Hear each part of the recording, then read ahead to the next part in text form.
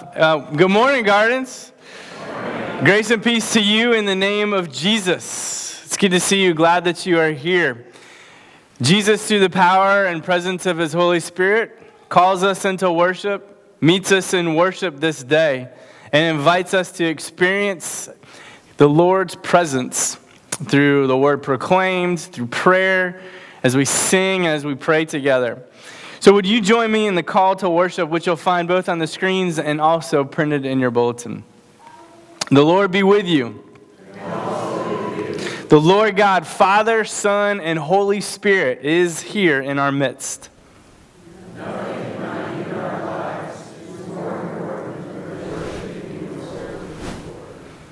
Amen. Amen. And that is taken from the book of Acts, part of um, the scripture and sermon series that we've been We've been going through over the last few weeks, and this comes from the particular passage of Scripture in Acts uh, 20, I think, is what we're talking about today, um, where Paul is uh, talking, kind of concluding his third missionary journey. But more on that later. If you are new, or a guest, or a visitor, we're glad that you're here at Gardens. I pray that you'd experience the presence of Christ in this place.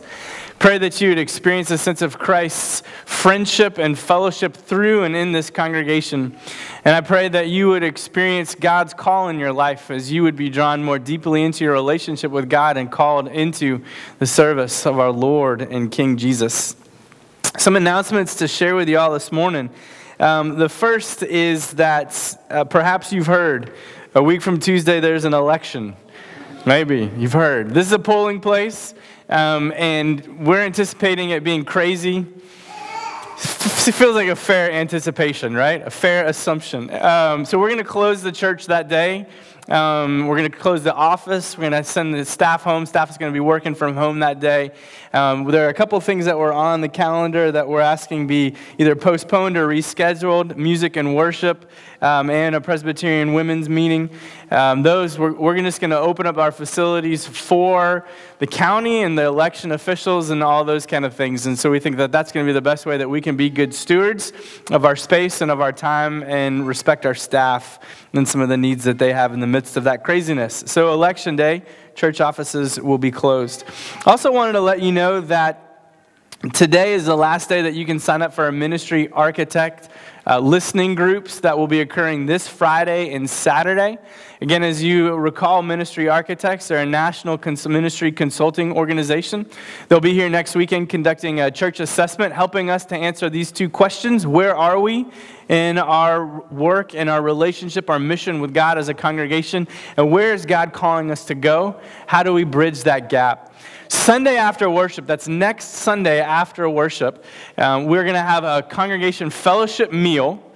And immediately following that meal, anyone who wants to stay, uh, we invite you to come back into this room, this sanctuary, and hear from ministry architects, hear from um, those consultants who will be here with us, and they'll share their findings. They'll share their report with us. And it's going to be an exciting weekend for us, really, because this weekend, this first weekend in November, next weekend, marks for us kind of the beginning of what is next an opportunity for us to hear what God is doing in our midst, to begin to hear the ways that we feel like God, the Spirit of God, is leading us. And so once we have a chance to hear from our ministry partners, from ministry architects, likely we'll have a couple of weeks, couple maybe a month or two of our leadership of the congregation will kind of digest the report, begin to work on creating some mission plans out of that.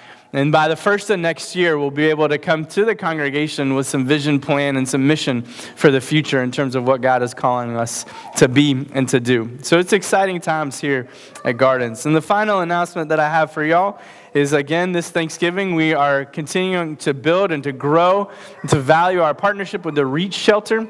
And so we will continue to provide Thanksgiving dinners for the families at the Reach Shelter, which is Palm Beach County's only emergency transitional housing shelter for homeless families. And um, you can sign up. There's baskets to, uh, to donate, financial, financial donations uh, to help with that mission project that we have. Those are all the announcements that I have, so I would invite you on out to stand and to greet one another and welcome each other to worship. Our scripture lesson for this morning is Acts chapter 20, verses 13 through 24. Again, just in terms of context, we've been working through the book of Acts over the last five or six weeks, maybe longer. Can't really remember. This is part of uh, Paul's third missionary journey. So the latter half of Acts is the first half of Acts is kind of divided by the really the ministry of the apostle Peter and the church in Jerusalem. The second half of Acts is organized in terms of the Apostle Paul and Paul's ongoing mission around that Mediterranean basin to proclaim the gospel of Jesus in those places. And so Paul's work, the book of Acts, really uh, is organized around Paul's three main missionary trips. So we're at the third one. Um, and so today we're going to talk a little bit about the specifics and the geography of it, but we're actually going to start wrapping up some of those loose ends, tying together a nice little bow, some of the things that we've been talking about over the last couple of weeks. Acts 20, 13 through 24 comes, I would say, five sevenths of the way through his third missionary journey. So, towards the end, but not at the very end, okay? Um, and you'll see what's happening is Paul is, is going to say, he's saying goodbye to the folks, the church at Ephesus, where he spent the better part of a year and a half in ministry there. And they're concerned about him because what Paul has told them is that he wants to go on and continue his journey and end up in Jerusalem. But what the church in Ephesus is hearing, and what they're concerned about, is that if Paul goes to Jerusalem, he's going to be arrested because he's been kicking up enough muck here in the Mediterranean basin over the last seven years that the powers that be, both within the Roman Empire and within the established Jewish synagogue, have really frankly had enough of Paul. So, with that context, hear now the word of the Lord. This is Paul's farewell to the Ephesian leaders. We went on to the ship and sailed for Assos, where we intended to take Paul on board. Paul had arranged this, since he intended to make his way there by land. When he met us at Assos, we took him aboard and went on to Mytilene. And the next day we sailed from there and arrived at the opposite Chios. On that day after, we sailed to Samos, and on the following day we came to Miletus. Paul had decided to sail past Ephesus so that he wouldn't need to spend too much time in the province of Asia. He was hurrying to reach Jerusalem, if possible, by Pentecost Day. From Miletus, he sent a message to Ephesus calling for the church elders to meet him. And when they arrived, he said to them, You know how I lived among you the whole time I was with you. Beginning with the first day I arrived in the province of Asia. And I served the Lord with great humility and with tears in the midst of trials that came upon me because of the Jews' schemes. You know, I held back nothing that would be helpful so that I could proclaim to you and teach you both publicly and privately in your homes. You know, I have testified to both Jews and Greeks that they must change their hearts and lives and turn to God and have faith in our Lord Jesus. Now, compelled by the Spirit, I'm going to Jerusalem. I don't know what will happen to me there. What I do know is that the Holy Spirit testifies to me from city to city that prisons and troubles await me. But nothing, not even my life, is more important than my completing my mission. This is nothing other than the ministry I received from the Lord Jesus to testify, to testify about the good news of God's grace. This is the word of the Lord. Thanks be to God. Let's pray. Jesus, we give you thanks for your presence in this place, and we pray that as we open your scriptures, as we hear your word read, as we reflect upon it, that Jesus, you would be present, that you would be speaking to our hearts, speaking to us. Speak to us as your church, as we read this particular passage of scripture, as we read all of the book of Acts, through the lens of thinking about what it means for us as a congregation, thinking about what it means for us as we participate in your ministry and mission in this world. Jesus, I pray that you would have mercy on me, a sinner. In your name we pray. Amen. So, Paul's third missionary journey, I think we've got a map of it up here. You can kind of see how he's cruising around the Mediterranean Sea, and you'll note that, especially if you've been with us last week, maybe even the week before that, that this map is really pretty much unchanged. right? At this point, Paul is kind of here in this third missionary journey. He's going to hit a lot of the spots that he's already visited. He's going to do that to go build up the churches, to pour into the leaders that he's already established. Um, he's going to go do that to remind some of the churches about the ways of Jesus and the ways that they're called to live. They might have forgotten some of those things. And here in Paul's third missionary journey, it's recorded in the book of Acts from Acts 18, 23, verse, uh, chapter 18, verse 23, through chapter 21, verse 22. So that's what? Three chapters, about three chapters of the book of Acts dedicated to Paul's third missionary journey. This takes, this journey takes four years. Last week we talked about his second missionary journey that took three years. So this one is four years, with the majority of that time, more than 50%, in Ephesus, which is right there by the number two, you'll see on the map there, right underneath the province of Asia. That's where he spends the bulk of his time here in the third missionary journey. And last week we talked about how on his second missionary journey, he traveled over 3,000 miles, which was essentially roughly the equivalent of traveling from Palm Beach Gardens to Seattle, Washington. Today, we're talking about the third missionary journey, which Paul traveled 2,515 miles. So a little bit less. He's getting, he's slowing down in his old age. Paul is here. Um, so what do you think? How far would 2,515 miles get you? Do y'all remember some of the cues and clues from last week?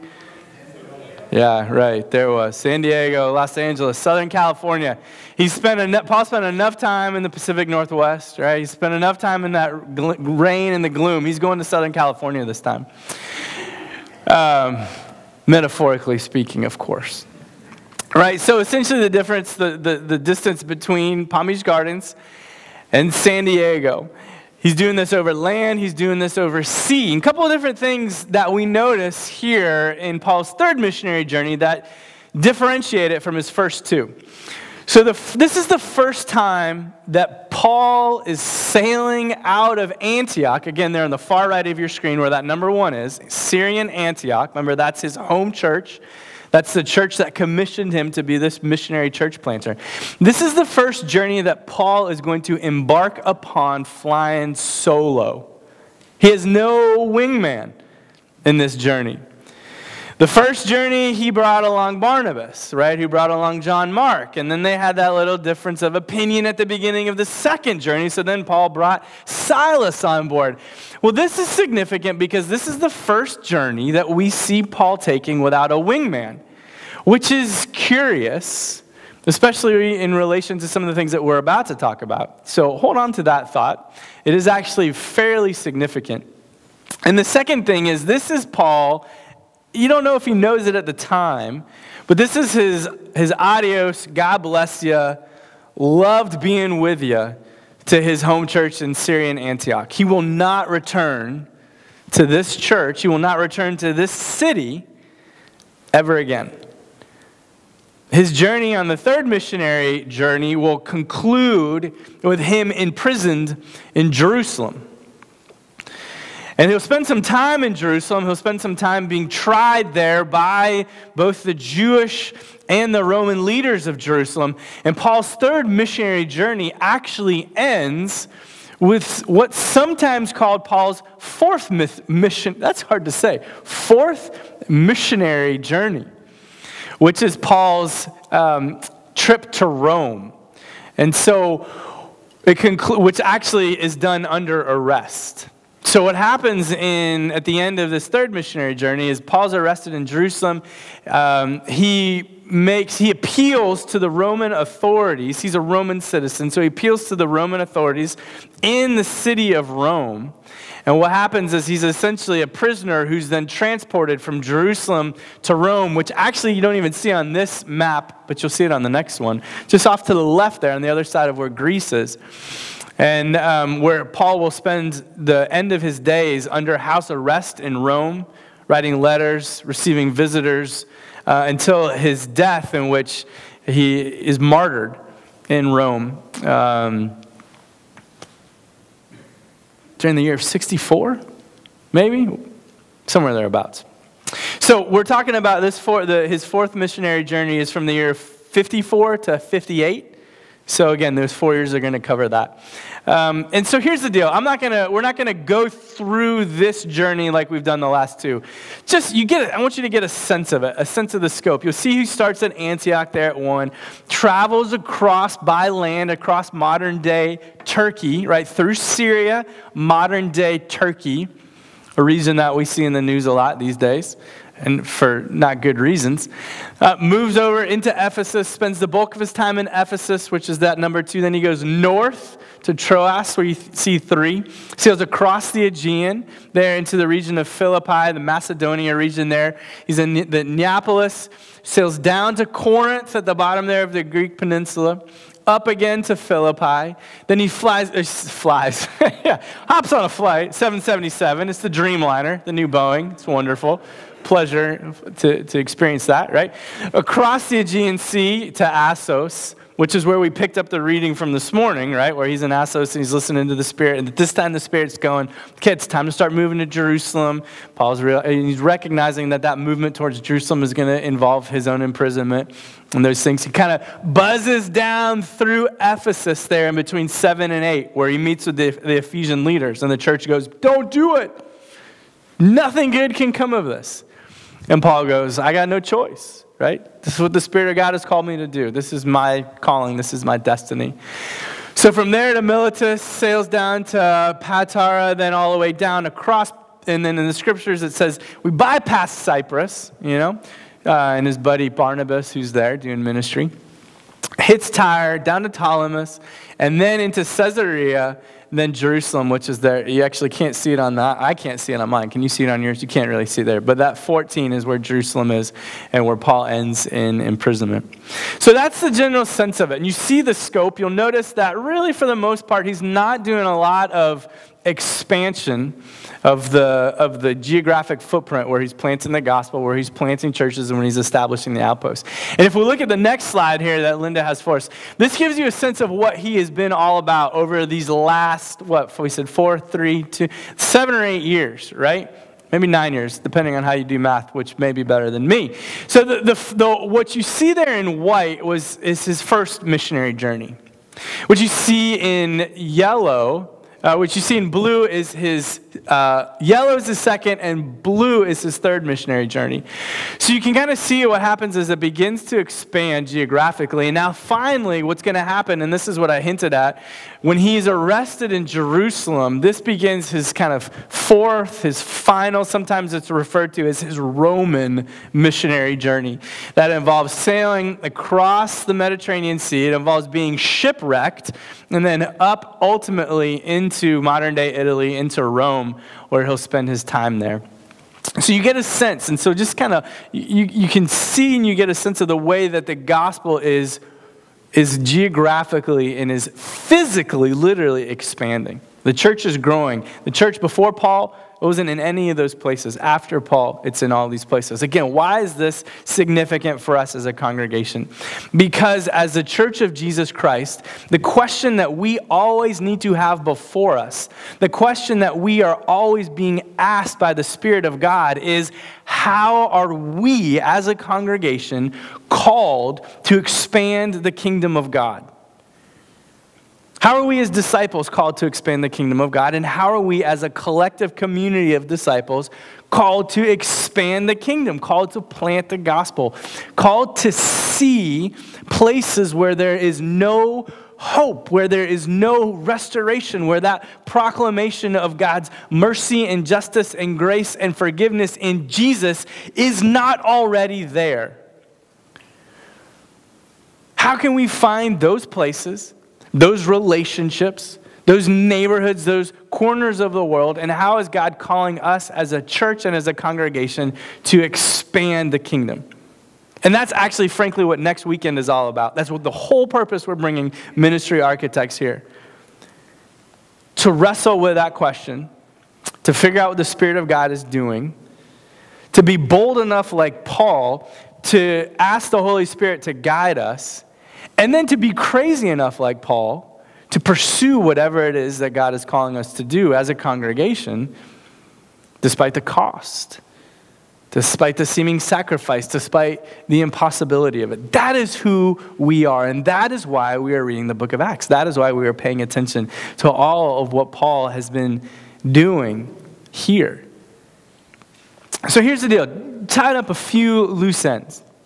And I said we would do this when we first started talking about Paul's first missionary journey. If you were to look at Paul's ministry across all three of his journeys across that Mediterranean basin, if you were to distill some of the things that were consistently evident across those nine years of Paul's ministry, things that we might be able to think about applying to our, our life as a congregation and as a church, think there's six things that we need to be mindful of. The first, and we've talked about that in a lot last week, but is Paul had this sense, he, he sought direct guidance from the Holy Spirit. I mean, Paul would literally, in prayer, ask, What road do you want me to take, Holy Spirit?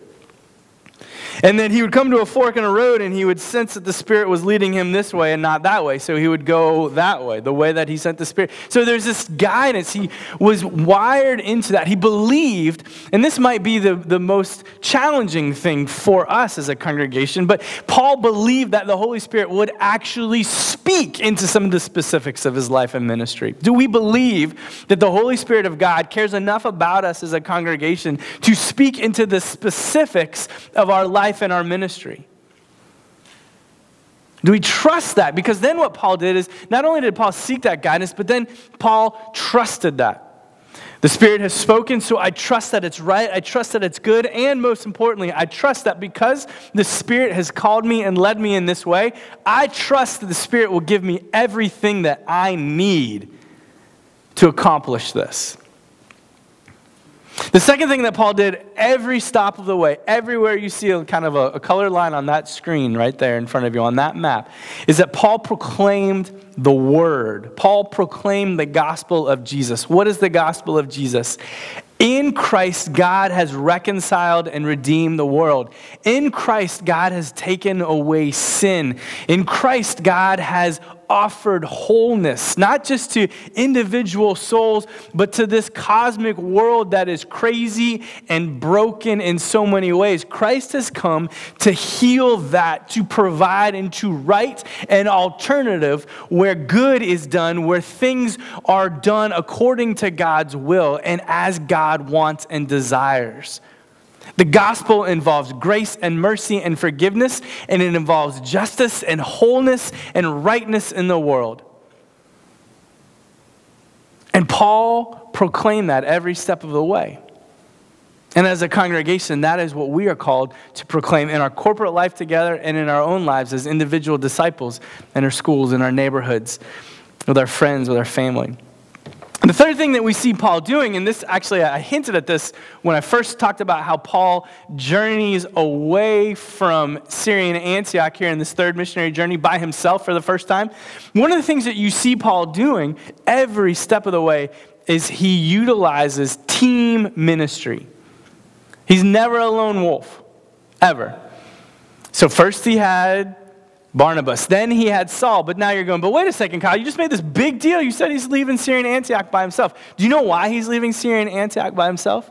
Where's he going? He's going to churches and cities that he's already been to, right? That he's already planted, that he's already developed leaders in.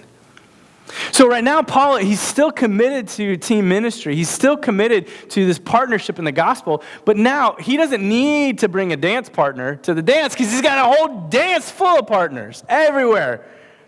And so he knows that these kind of disciples of his, these folks that he's been mentoring, not only in the faith of Jesus, but in leadership now, are ready to step up. And so now they're not just going to be kind of disciples and leaders within their communities. They're going to kind of join with Paul in this apostolic work of proclaiming the gospel. And this ties into kind of the fourth thing. That's, so, what does that mean for us at Gardens? Teams. We can't be lone wolves. And if we ever find ourselves in a situation where things are dependent upon solely one person, then we aren't living into what God has called us to be as a community called to be in ministry and service together. And this ties in, so what we're going to talk about next ties into that. Paul, everywhere he goes, establishes this is a fancy word. Ready for a fancy word? All right, you ready? Yeah, here it is. Fancy word. Indigenous, indigenous leadership. Isn't that a fun word? What does that fancy word mean? It just means leaders who live there. Right? So, what Paul is not doing is he's not taking a whole parcel of people from Syrian Antioch with him and just kind of depositing them in these local communities. He's not taking a whole parcel of people from Syrian Antioch and saying, okay, you 12, you are now going to live in Athens. And I want you to be the leadership of this church. Everywhere he's going, he's interacting with the folks who live in those communities, proclaiming the gospel to those folks, and building them up in their leadership capacities. Paul doesn't even stick around in those churches. Paul doesn't even say, I want to stay and be your leader. Paul goes, Y'all be leaders, I'm out. I don't want that responsibility. That is your responsibility now right? So, what does that mean for us as a congregation? It means that we, within our congregation, need to be developing leaders from within this congregation and within our communities, within our neighborhoods, friends and families. Everywhere that we go are places and people who can be called and drawn into the leadership and the ministry of this church. Because what's important and what's significant about the indigenous leadership in a place like Corinth or in the region of Ephesus? They know people, right? Probably more people. That, that, this, is, this might be just a complete and total stretch on my part, but I would suspect that the people who actually live in Corinth know more Corinthians than people from Syrian Antioch, right? So Paul, it's, it's, it's more effective if you take people who live in Corinth and you develop them as leadership rather than implanting leaders on top of that. So it makes a lot of sense from a missional perspective. The, the fifth and almost last thing that we can look at what Paul is doing here in his missionary journeys is he is working on what's called contextualized ministry. Means he lets his context define the scope of his mission and his ministry and his work. What does that mean? Means that every city he does something different based on what is the city has come to expect. Right? To the point where Paul goes to Athens. And he goes to this, um, it's a pagan temple, it's on Mars Hill. And the Athenians, they, they, were, they were very religious people. They had this temple, they, and it was this temple that had different um, kind of altars to all the different gods. And then there was this altar over here, and it was blank, and they said, and there was a sign on it that said, This is the altar that we've built to worship the unknown God. Right? That, and, and, and so Paul recognizing this kind of spirituality within the Athenians then begins to say, hey, y'all are, y'all are God worshiping folks. I mean, I get that. You get that. You know that. Look at all these gods that you worship. Hey, I noticed that there's an altar right here. This it says to an unknown God. Guess what, y'all? I know who that God is. He's the Lord Jesus. And then let me tell you about what else Jesus can do, right? So, depending on where he is, it shapes his ministry. Depends if he was talking to some of the folks who were Jewish in the community, he would teach at the synagogue. If he was talking to the Gentiles, it would be more in the community. It would depend on what he was doing. Everything was contextualized. And here's the final thing, and actually, full confession, I just thought of this this morning. So, I think it's true, actually. I think this might actually be the reason, the one reason that God wants us to focus on this scripture today. And that is, Paul pursued to his death a God planted dream in his soul. Paul's dream was to go to Rome. Actually, it was to go to Rome and to Spain. So he got kind of there. Never made it to Spain. That was Paul's dream when he talked about going to the ends of the earth. It was all across this Mediterranean basin, but he had his silver tuna. He felt like God put this call, this dream in his heart to get to Rome, to get to the epicenter of this Roman civilized world and proclaim the gospel and plant a church. That was his dream. That was his vision. He felt like that was the one thing God called him to do. He did it. It cost him his life. But he so believed that that was what God was calling him to do that he would stop at nothing to do it, right? Here's what the scriptures say Nothing, not even my life, is more important than completing my mission. This is nothing other than the ministry I received from the Lord Jesus to testify about the good news of God's grace. Friends, brothers, and sisters in Jesus, we have a God dream in this church. We have it. I don't know what it is yet. We'll uncover it.